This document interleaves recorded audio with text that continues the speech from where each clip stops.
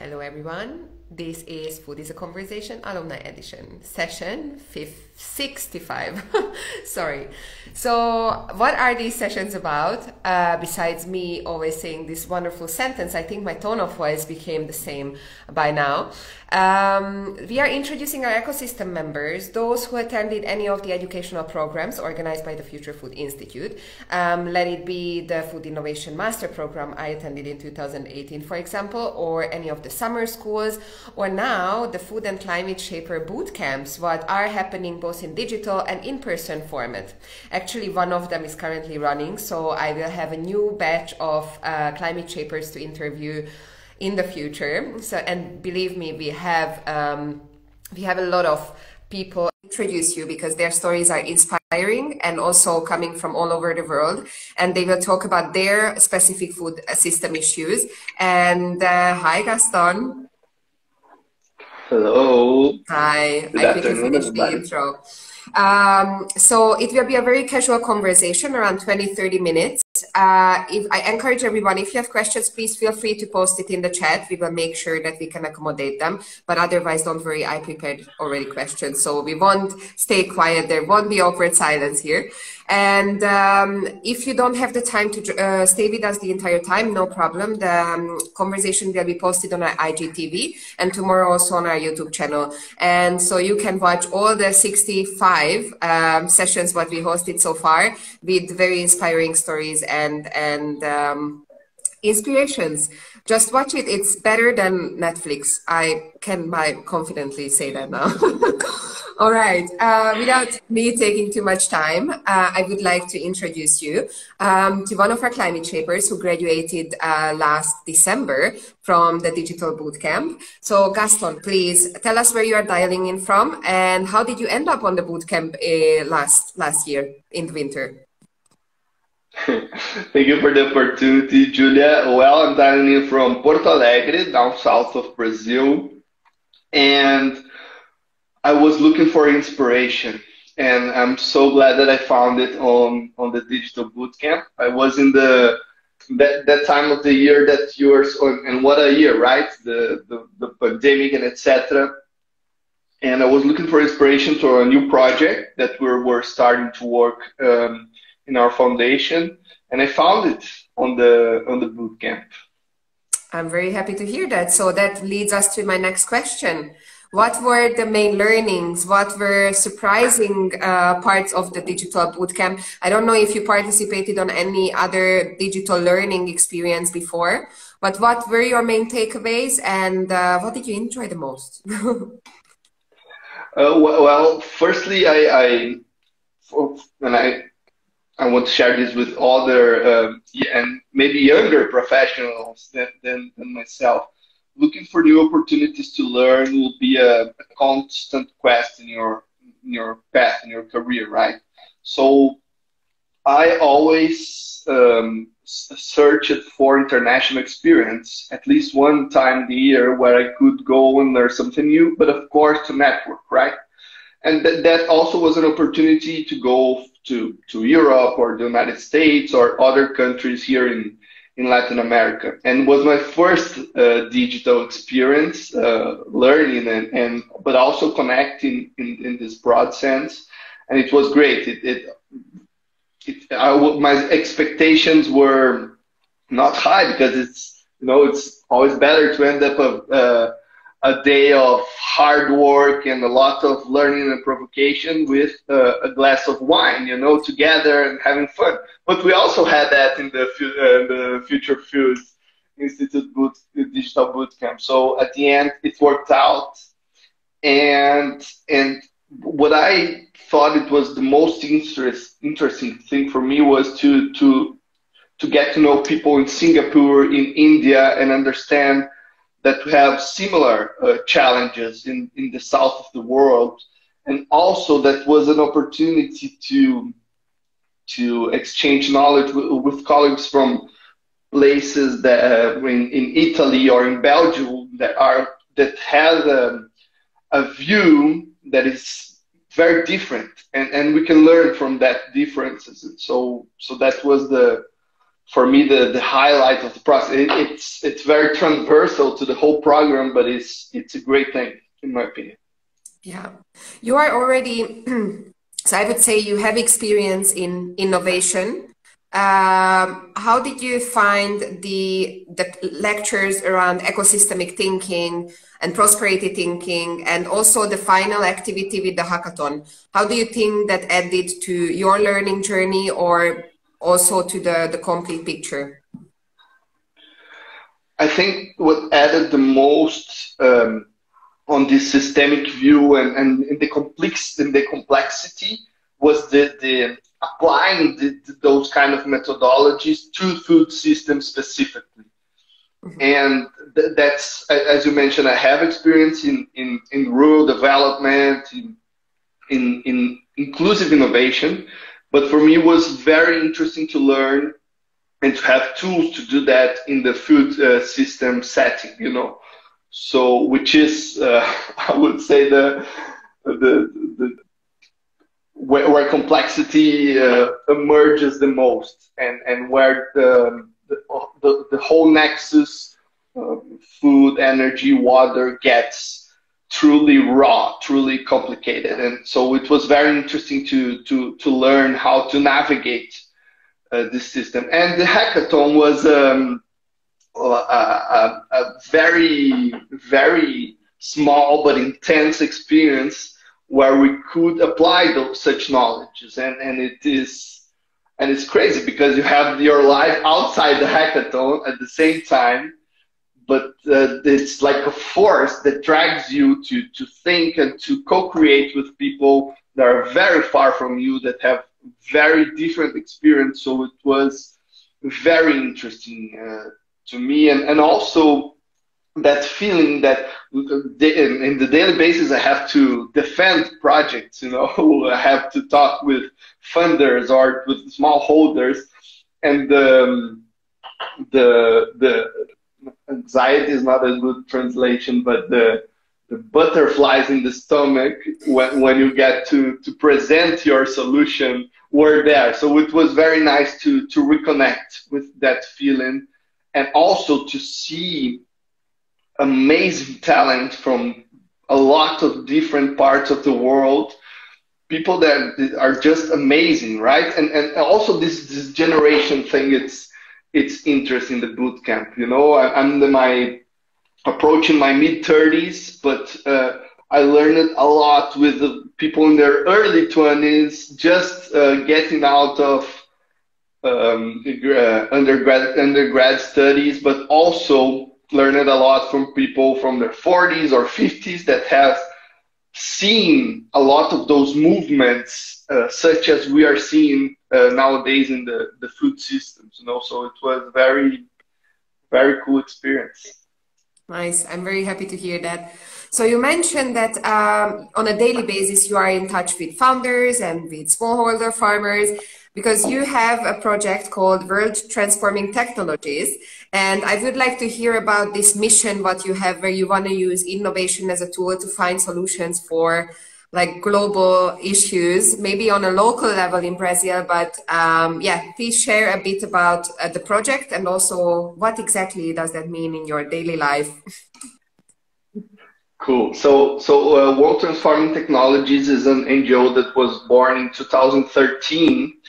It was kind of a, a, a younger sister or a spin-off or you know, an arm of open innovation for uh, Fundación Avina, which is a foundation with more than 25 years of experience working in Latin America, working in themes such as access to water, uh, political innovation, climate action, a, a number of those. And, and, of course, they changed along those 25 years, but it was born with the um, the identification, the identification of the challenge that for the complexity of the problems that we're facing in, in our century, uh, technology and deep innovation should uh, act also to generate uh, social and environmental impact. You know, when we when we talk about disruption, that nowadays is a very cliche word even.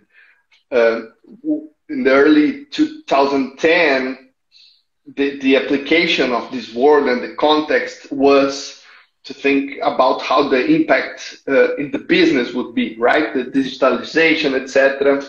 Nowadays, it's it's very common to, to think about that in different areas and aspects of our lives. But there, the, the, the, in the foundation of World Transforming Technologies, we saw that the only chance that we could provide social and environmental justice was if the technology and this development of the innovative solutions were aiming at social environmental impact. You know, it's it's not a externality or it's not a, a social responsibility project that will address those kind of complex issues. So we were born like that.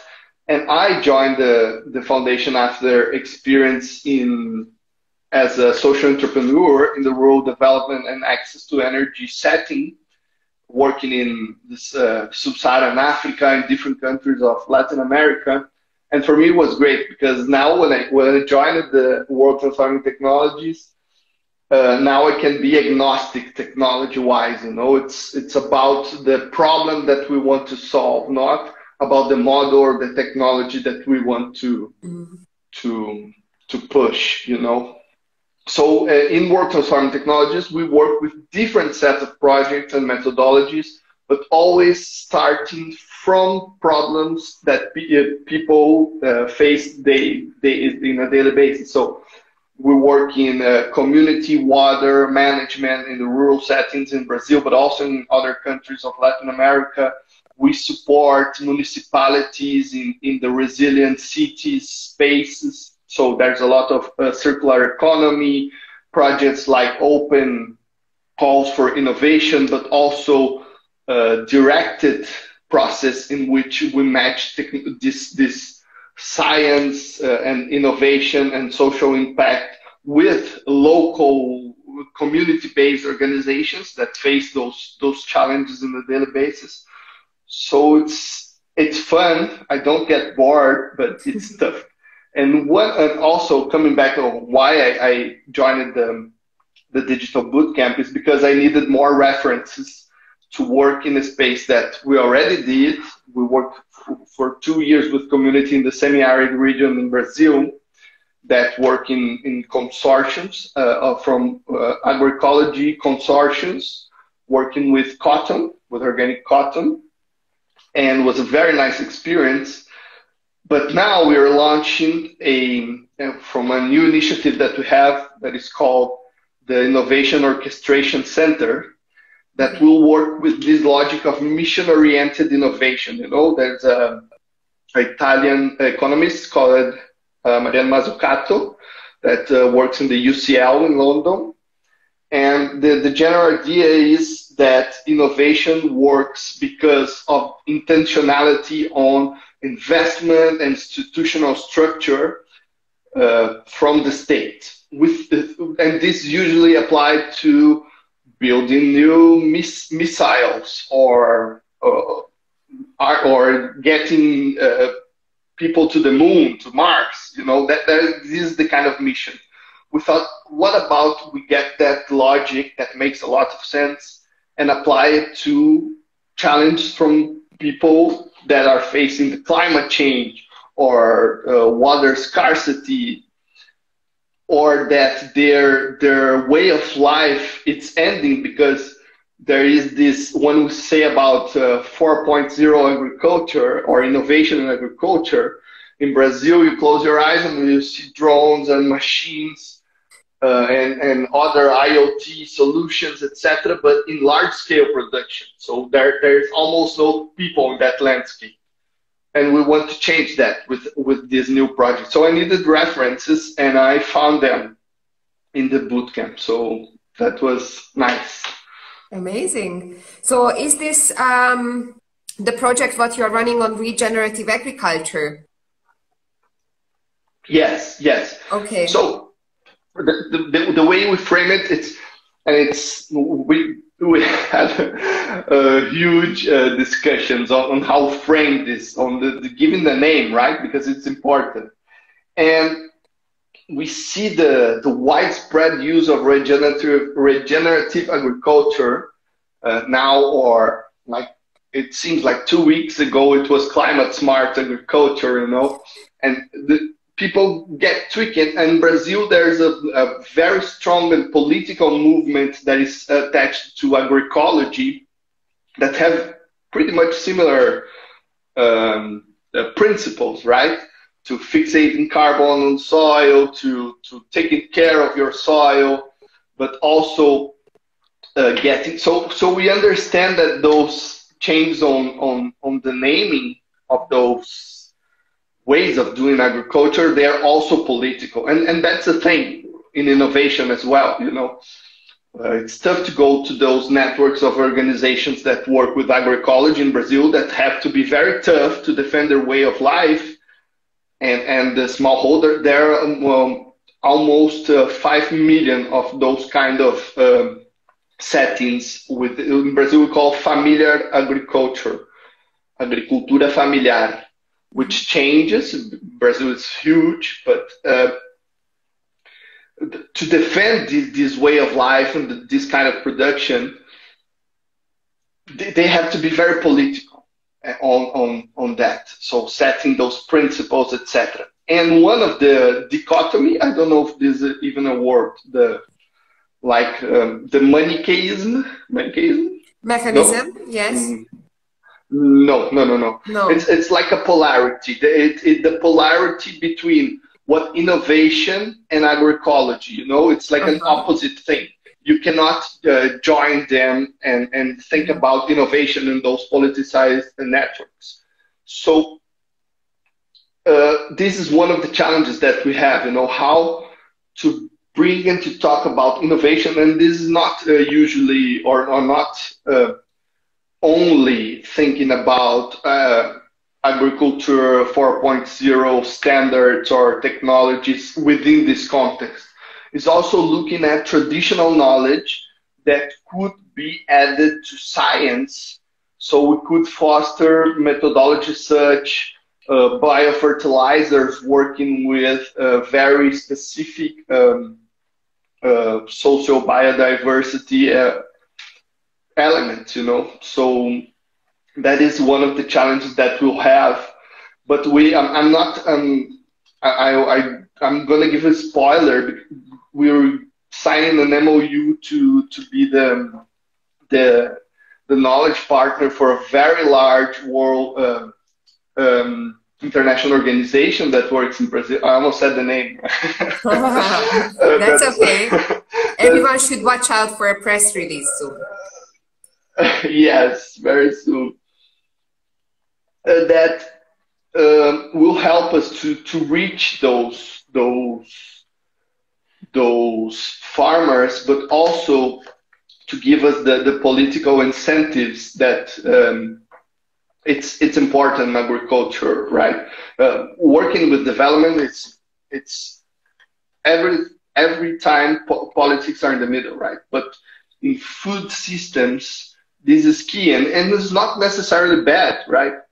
So so having that uh, dimension uh, taken account what we will do is that we, we're now mapping challenges that in which uh, science and technology based solutions can be and, and, can, can have a match to map scientists in Brazil that are already working in that space with that kind of solution and form extraordinary teams of scientists so so they can collaborate to access funding for uh, the innovations. There's a lot of in, in brazil and i think in other countries from the south of the world this this is a the the the the funding for innovation for science and, and research it's very widespread. So each researcher in his university gets a little bit of money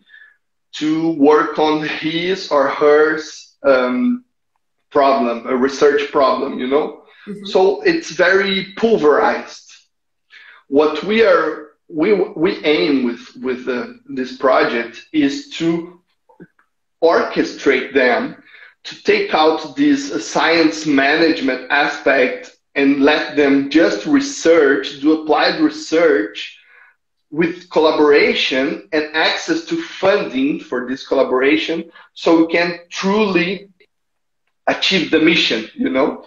At the end of the day, it's, it's about that. the mission that the broad mission is to, to bridge the gap, the competitiveness gap that is with the monoculture large extension and that is already full of 4.0 agriculture how we can bridge this gap and also find other kind of solutions like such as the uh, managing the soil or even we are, we are looking even into uh, the, the, the, the agro-industry uh, phase of this uh, of these uh, food systems, you know, because it's it's very different when you talk about the technology that is that applies to the context of those smallholders than to the others, and and that is how you you break the the silos.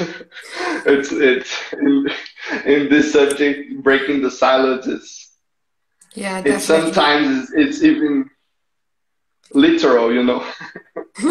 yes.